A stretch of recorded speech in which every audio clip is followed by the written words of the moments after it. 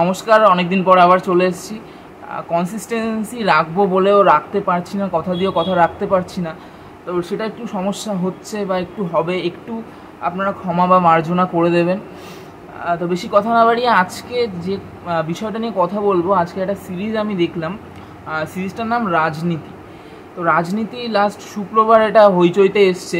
ট্রেলারটা বেশ কিছুদিন আগে দেখেছিলাম। বা এই সিরিজটা নিয়ে কিন্তু আমি খুব একটা দেখছি না যে মানুষ কথা বলছে বা লেখালেখি করছে। খারাপ ভালো যাই হোক, সেটা নিয়ে বলছে না। বা একটা হইচইতে যখন ওই গভীর জলের মাছ কাদা জলের পোনা নোংরা জলের বাটা, তো এই সমস্ত কাজগুলো যখন আসছে, সেইগুলো নিয়ে মানুষ প্রচুর কথা বলছে, প্রচুর লিখছে। ভালো খারাপ যাই লাগুক, করছে তো, লিখছে তো। সেটা তো সেটা তো এই সিরিজটা নিয়ে হচ্ছে না। আমার মনে হলো যে এই সিরিজটা নিয়ে কথা বলা উচিত একটু। তো সিরিজটা ডিরেক্ট করেছেন সৌরভ চক্রবর্তী এবং এখানে মুখ্য চরিত্রে আছেন কৌশিক গাঙ্গুলি কনিনিকা ব্যানার্জি দিতিপ্রিয়া রয় অর্জুন চক্রবর্তী। প্রত্যেকের পারফরমেন্স অসাধারণ পারফরমেন্স এই সিরিজটা জাস্ট দেখে আমি আমার জাস্ট মনে হলো যে এটা হইচইতে এরকম ধরনের কাজ হয়। লাস্ট ইন্দুওয়ালা ভাতের হোটেল দেখেছিলাম। ইন্দুওয়ালা ভাতের হোটেলে আমার কিছু প্রবলেম মনে হয়েছিল মেকআপের কিছু প্রবলেম ছিল বা কাস্টিংয়ের আমার একটা প্রবলেম মনে হয়েছিল। যাক, সেগুলো আলাদা বিষয়। বাট ইন্দুওয়ালা ভাতের হোটেলের পরে আজকে এতদিন পর রাজনীতি বলে একটা সিরিজ আমি দেখলাম। যে সিরিজটা কিন্তু আমি একটানা দেখে একবারে শেষ করেছি। মানে আমার মনে হয় না যে হইচইয়ের কোন কাজ আমি লাস্ট দেখে মানে এই বছরের কথা বলছি, এক দু বছর আগের কথা নয়, যে আমি একটানা একবারে দেখে শেষ করেছি। প্রত্যেকটা এপিসোড পঁচিশ থেকে ছাব্বিশ মিনিট টোটাল সাতটা এপিসোড আপনার এখানে আছে। তো সিরিজটার যে গল্পটা, সিরিজটার গল্পটা হচ্ছে কৌশিক গাঙ্গুলি একটা জায়গাতে একটা গ্রামের রিচপুর নামে একটা গ্রামের সে সেখানে নেতা, একজন পলিটিক্যাল পার্টির নেতা এবং তার মেয়ে দিদিপ্রিয়া রয়। সে একদিন তার বয়ফ্রেন্ডের সঙ্গে জিম থেকে ফেরার পথে একটা গাড়ি অ্যাক্সিডেন্ট হয় যেখানে তার বয়ফ্রেন্ড মারা যায় এবং দিতিপ্রিয়া কোনোভাবে বেঁচে যায়। এবার এই অ্যাক্সিডেন্টটা কি কারণে ঘটলো? এর পেছনে কি কোনো রাজনীতি লুকিয়ে আছে না বাড়ির ভেতরের কোনো পলিটিক্স বা বাড়ির বাইরের কোনো পলিটিক্স সেই গোটা বিষয়টা নিয়ে কিন্তু এই সিরিজটা এবং এই সিরিজে প্রচুর জিনিস আছে মানে যেটা কিন্তু আমাদের এই কন্টেম্পোরারি সময়ের সঙ্গে খুব ভালোভাবে যায়। এবং এই সিরিজটা প্রথম প্লাস পয়েন্ট হচ্ছে এটা রাইটিং অসাধারণ রাইটিং আমার হই, হইচই নিরিখে বলছে। আমি কোনো, অন্য কাজের তুলনা করছি না। হইচই নিরিখে বলছি যে এটা একটা অসাধারণ রাইটিং কারণ এখানে প্রত্যেকটা ডায়লগ প্রত্যেকটা ডায়লগ খুব ভালোভাবে লেখা হয়েছে এবং এটা যে স্ক্রিন প্লেটা যেখানে ধরুন আজকে মুম্বাইতে যে কাজগুলো হচ্ছে প্রাইমে যে কাজগুলো আসছে বা নেটফ্লিক্সে যে কাজগুলো আসছে, একটা চল্লিশ পঁয়তাল্লিশ মিনিটের এপিসোড হয়। সেখানে চল্লিশ পঁয়তাল্লিশ মিনিটের এপিসোডে লাস্টে একটা হুক পয়েন্ট দিয়ে নেক্সট এপিসোডে অডিয়েন্সকে টেনে নিয়ে যায়। হইচইয়ের ক্ষেত্রে প্রত্যেকটা এপিসোড কুড়ি থেকে পঁচিশ মিনিট রাখছে এবং এই কুড়ি থেকে পঁচিশ মিনিটের মধ্যে আমি ওয়ার্ল্ড বিল্ড করব, আমার আবার সেখানে অডিয়েন্সকে হুক করে রাখব, আবার নেক্সট এপিসোডে টেনে নিয়ে যাব, এটা কিন্তু চারটিখানি কথা নয়। শুধুমাত্র আমি হুক করে রাখার জন্য হুক করে রাখাটা আমি বলছি না। মানে জাস্ট আমাকে প্রত্যেকটা এপিসোড এন্ড হলে একটা হুক পয়েন্ট রাখতে হবে, সেটার জন্য নয়, এখানে কিন্তু গল্পটা ডিমান্ড করে ওই হুক পয়েন্টটা স্ক্রিন প্লেটা কিন্তু সেভাবেই লেখা হয়েছে। এবং ডায়লগগুলো খুব মানে আমার একটা ডায়লগের কথা এখানে মনে পড়ছে যেখানে বলছে যে, সাদা শাড়ি পরে গেলে লোকে ইমোশনাল হয়ে এমনি ভোট দিয়ে দেবে। তো এই যে এই যে হিউমার বা এই যে স্যাটায়ারগুলো এই যে ডায়লগগুলো এটা কিন্তু অনেকদিন পর আমি দেখলাম, এরকম হইচতে এরকম একটা কাজ দেখলাম। পারফরমেন্স এখানে প্রত্যেকের অসাধারণ পারফরমেন্স কৌশিক গাঙ্গুলি। কৌশিক গাঙ্গুলি কনিনিকা ব্যানার্জি, দুর্দান্ত। সত্যি কথা বলছি, এটা এটা দুর্দান্ত পারফরমেন্স দিয়েছে এবং কৌশিক গাঙ্গুলি, আমি এখানে বলব যে কৌশিক গাঙ্গুলি কনিনিকা ব্যানার্জি এবং দিতিপ্রিয়া রয়। দিতিপ্রিয়া রায়ের এটা বেস্ট কাজ ওয়ান অফ দ্য বেস্ট কাজ, তার এতদিন যত কাজ আমি দেখেছি, তার মধ্যে এটা বেস্ট কাজ। কারণ দিতিপ্রিয়ার কথা বলার মধ্যে একটা আড়ষ্টতা আছে। সেই আড়ষ্টতাকে ডিরেক্টর সেটাকে কাজে লাগিয়ে এইভাবে দিতিপ্রিয়াকে ইউজ করেছে, এই জিনিসটা আমার মানে অসাধারণ লেগেছে যে এত সুন্দরভাবে দিতিপ্রিয়াকে দিয়ে কাজ করানো যায়। আর এখানে কৌশিক গাঙ্গুলি আর কনিনিকা ব্যানার্জি মানে দুজনেই দুজনকে যেন টক্কর দিচ্ছে, সেই মানে এমন একটা জায়গা আছে যেখানে অর্জুন চক্রবর্তী একদিন সকালবেলায় ফোন করেছে এবং সেখানে কিন্তু এই যে কৌশিক গাঙ্গুলি কনিনিকা ব্যানার্জি দুজনের মধ্যে একটা তুমুল ঝগড়া চলছে, তুমুল ঝগড়া সেখানে অর্জুন চক্রবর্তী যখন ফোন করেছে, ওখানে যেভাবে সুইচ ওভারটা হয় আপনি জাস্ট তাকিয়ে দেখবেন যে কীভাবে সুইচ ওভারটা হয় এবং প্রথম থেকে কিন্তু এই সিরিজটা আমাদেরকে এটাই দেখায় যে কনিনিকা ব্যানার্জি তেমনভাবে রাজনীতি বোঝেন না, যতটা কৌশিক গাঙ্গুলি বোঝেন জাস্ট ওই সিনটাতে কৌশিক গাঙ্গুলি যখন অর্জুন চক্রবর্তীর সঙ্গে ফোনে কথা বলছেন, একবার সুইচ ওভার হয়ে যায় নেক্সট ফোন কলটা কনিকা ব্যানার্জির কাছে যায়, তখন আবার কনিকা ব্যানার্জি সুইচ ওভার হয়ে যায় তার ওই মুডটা থেকে।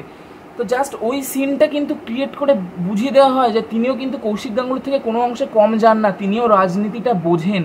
জাস্ট অসাধারণ ওই সিনটা আমি এটা যদি হলে দেখানো হতো, ওই ওই জায়গাটা একটা ক্লাব ডিমান্ড করে। সত্যি কথা বলছি, ওই জায়গাটা একটা ক্লাব ডিমান্ড করে। এই সিরিজে কিছু নেগেটিভ পয়েন্ট আমার লেগেছে, সেটা হচ্ছে পারফরমেন্সেই নেগেটিভ পয়েন্ট লেগেছে। এবং এটা স্ক্রিন প্লেরও কিছু খামতি আমার মনে হয়। কারণ আমি যখন একটা সিন থেকে আর একটা সিনে যাচ্ছি বা সাব সিন দিয়ে আমি যখন ঢুকছি সেখানে ধরুন যখন একটা সিন থেকে তো ধরুন কোনো একটা ইভেন্ট হচ্ছে, সেখান থেকে তো জাম্প করে আমি আরেকটা ইভেন্টে যেতে পারি না, তো সেই জায়গাতে মাঝখানে কিছু কনভারসেশন কোনো সাপোর্টিং কাজ যারা কনভারসেশন করছে, তো সেই কনভারসেশনটা আমার মনে হয় যে খুব ভালোভাবে লেখা না। জাস্ট কোনোভাবে ওটাকে, ওখানে রাখতে হবে সিনটাকে দেখানোর জন্য, পরের সিনে যাওয়ার জন্য সেইভাবে রাখা। মানে ওই ওই জায়গাগুলো আরও ভালোভাবে লেখা যেতে পারতো। বা এখানে রিঙ্কু বিশ্বাস যে মহিলাটা রিঙ্কু বিশ্বাসের চরিত্রে অভিনয় করেছেন, তার পারফরমেন্স আমার খুব একটা ভালো লাগেনি। তাকে একটু, তাকে এখানে রেখে একটু কমিক ক্যারেক্টার দেওয়ার চেষ্টা করা হয়েছে। তো সেই জিনিসটা কিন্তু ওয়ার্ক করে না বা তাকে যে খিস্তিগুলো দেওয়া হয়েছে খিস্তি দেওয়া হয়েছে ঠিক আছে বাট সেই খিস্তিগুলো আমার মনে হয় না যে সেটা কোনো কমিক কিছু ক্রিয়েট করছে। তো সেটা আমার একটা নেগেটিভ দিক লেগেছে বা তার পারফরমেন্স আমার খুব একটা ভালো লাগেনি। আর সত্যি কথা বলতে, কৌশিক গাঙ্গুলি অর্জুন চক্রবর্তী, কনিনিকা ব্যানার্জি, এদের মধ্যে পাওয়ারফুল অ্যাক্টরের সামনে আরও বাদবাকি যারা অ্যাক্টর অ্যাক্ট্রেস আছে, তাদের অভিনয় সত্যি এখানে মার খেয়ে যায়, সত্যি মানে বাংলা ভাষায় বলছি মার খেয়ে যায়। এখানে যে ডক্টরের ভূমিকা ভূমিকায় অভিনয় করেছেন, তার পারফরমেন্স সেই ছেলেটার পারফরমেন্স আমার খুব ভালো লেগেছে। সৌরভ চক্রবর্তী কিন্তু সবসময় চেষ্টা করেন যে চেনা গল্প, চেনা গল্পকে একটু আনকনভেনশনাল ওয়েতে দেখানোর চেষ্টা করেন। সেটা তার শব্দ শব্দ আমার খুব ভালো লেগেছিলো। খুবই চেনা পরিচিত একটা গল্প। কিন্তু তার যে এই অ্যাপ্রোচটা গল্পটার দেখানোর বা এই যে, এই সিরিজটার ক্ষেত্রেও আমার এই সৌর চক্রবর্তীর ডিরেকশনের এই জিনিসগুলো খুব ভালো লাগে। এবং আমি একটা কথা সবসময় বলি যে, বাংলা কাজ সবসময় একটা জোনের মধ্যে যেন একটা জায়গাতে লিমিটেড সেটা হলো কলকাতা। কলকাতার বাইরে যেন কোনো এই যে লিডিং যারা প্রোডাকশন হাউস আছে, তারা যেন বেরোতে পারছে না, কোনোভাবে বেরোতে পারছে না। মানে আমি আমাকে কোনো একটা ফ্যামিলি দেখাতে হবে মানে কোনো একটা, এমন একটা ফ্যামিলি যেটা জেনারেশন ওয়াইজ তারা একই বাড়িতে থাকে, এরকম একটা ফ্যামিলি মানে সেটা নর্থ কলকাতার কোনো একটা সম্ভ্রান্ত বাড়ি দেখিয়ে দিলাম, ওই একই সেট পিসেস একই প্রপস আমি রেখে দিলাম। এটা মানে সেই সেটাকে আমি প্রমাণ করে দিচ্ছি বা সেইটাকে আমি প্রুফ করে দিচ্ছি। এর বাইরে কিন্তু আর লিডিং প্রোডাকশন হাউসগুলো করতে পারছে না। তো সেই জায়গায় দাঁড়িয়ে এটা মনে হয় উড়িষ্যার দিকে কিছুটা অংশ শ্যুট করা হয়েছে, কলকাতাতে কিছুটা অংশ শ্যুট করা হয়েছে।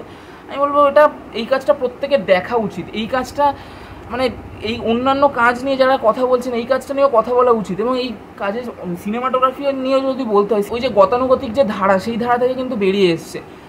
সিনেমাটোগ্রাফিও খুবই সুন্দর। মানে ওই একই রকম আপনি দেখতে পাবেন না বা একই রকম ক্যামেরা জোন দেখতে পাবেন না যে একটা ঘরের মধ্যে আমি তিনটে ক্যামেরা বসিয়ে দিলাম শ্যুট করে বের করে নিয়ে চলে আসলাম। ওই জিনিসটা কিন্তু আপনি এই সিরিজের ক্ষেত্রে দেখতে পাবেন না।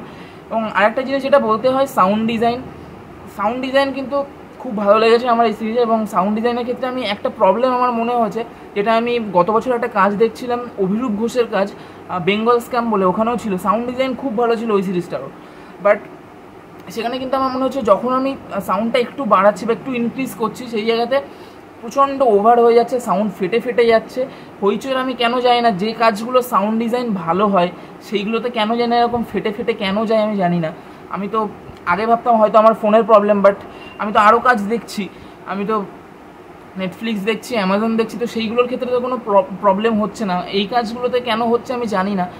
তো আমার মনে হয় যে এই কাজটা নিয়ে কথা বলা উচিত। প্রত্যেকের দেখা উচিত কাজটা। এই যে সমসাময়িক যে রাজনৈতিক বিষয়টাকে যেভাবে তুলে ধরেছেন যে রাজনৈ, রাজনীতিতে কেউ ভালো হয় না বা কেউ খারাপ হয় না, বা হইচইতে তো এমন কোনো কাজ হয় না যেখানে শুধুমাত্র রাজনীতির ওপরে দেখানো হয় বা সেই ধরনের তো কোনো কাজই হয় না, সবই তো, কী আর বলব, ওই সিরিয়াল টাইপেরই কাজ হয় ম্যাক্সিমাম তো সেইখানে দাঁড়িয়ে এটা একটা সত্যি অন্যরকম কাজ। আর ট্রেলারটা দেখে আমার মনে হয়েছিল যে জাস্ট ট্রেলারটা দেখে আমি খুব যে এক্সাইটেড ছিলাম সেরকম নয়। আমার মনে হয়েছিল যে সৌরভ চক্রবর্তী যখন কাজটা করছে, একটু অন্যরকম কিছু দেখতে পাবো। তার কার্টুন শব্দজব্দ অন্যরকম সিরিজ তো সেই জায়গা থেকে মনে হয়েছিল। বাট বেশিরভাগ মনে হচ্ছিল যে ইন্টারনাল যে ড্রামাটা সেটার উপরে বেশি ফোকাস করা হয়েছে।